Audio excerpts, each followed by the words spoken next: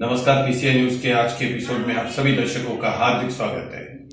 जहाँ लॉकडाउन से लोग तरस रहे हैं लॉकडाउन में लोग घरों में बैठे हैं लॉकडाउन में लोग घर में लॉक होकर बैठे हैं, वहीं पर चोर हाथ साफ़ कर रहे हैं, चोरी कर रहे हैं। उल्लास स्टेशन के पास सत्यम क्लासेस में चोरों ने ऐसा हाथ साफ़ किया कि सारा का सारा माल ले उड़े। एसी, कंप्यूटर और साथ साथ कैमराज और डीवीआर सभी ले हुए। आइए हमारे कैमरा के नज़र से देखते हैं कि चोरों ने कैसे चोरी का हाथ साफ़ किया है।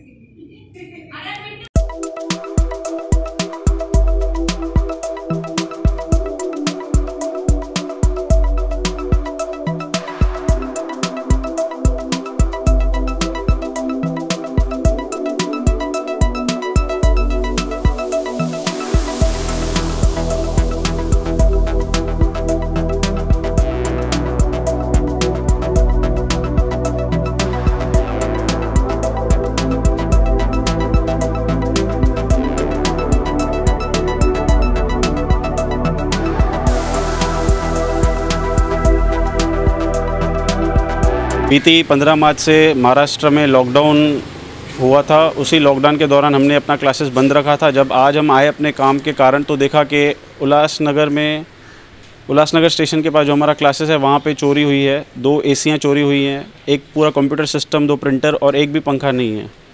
तो अब आने के बाद हमें पता चला कि यहाँ पे चोरी की वारदात हो चुकी है। इस बारे में आपने पुलिस में शिकायत की है? पुलिस में हमने सेंट्रल पुलिस स्टेशन में रिपोर्ट किया। सेंट्रल पुलिस स्टेशन के पुलिस कर्मचारी यहाँ पे आए हैं हमें मदद करने के लिए और जल्दी वो बोल रहे हैं वो रिपोर्ट दर्ज करेंगे। आप शहरवासियों को क्या संदेश देना चाहेंगे? शहरवासियों को मैं यही संदेश देना चाहूँगा आपके चैनल से कि पुलिस से परमिशन लेके एक बार आप अपना ज़रूर दुकान खोलें। हफ़्ते में एक दिन जाकर देख के कि सब सही हो रहा है कि नहीं। सिर्फ़ आप देखने जाइए और अपने दुकान को सुरक्षित रखिए। ताकि आपके अपने दुकान में ऐसी कोई घटना ना हो।